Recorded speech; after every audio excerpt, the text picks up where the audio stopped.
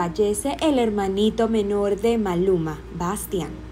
El cantante colombiano compartió la triste noticia junto a un emotivo mensaje a través de sus redes sociales.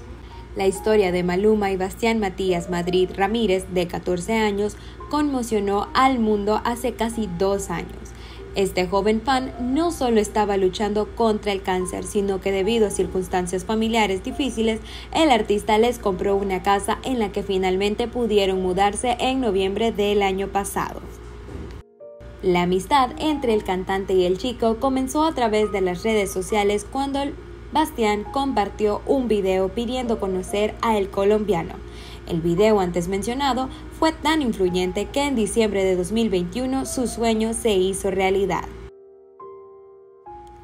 Desde entonces, Maluma se conmovió y ha enviado apoyo y aliento a través de las redes sociales a todos los pacientes de cáncer.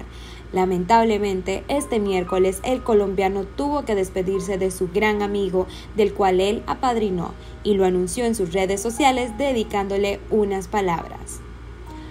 Con el corazón roto en pedazos, les tengo que informar por este medio que Bastián se nos fue de este plano terrenal.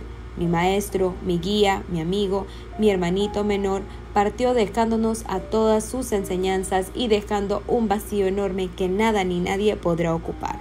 Luchamos hasta el final, pero lo mejor era su descanso.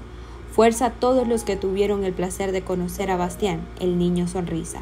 Te amo, te amaré por siempre, mi príncipe. Nos vemos en el camino, comentó el cantante colombiano en sus redes sociales.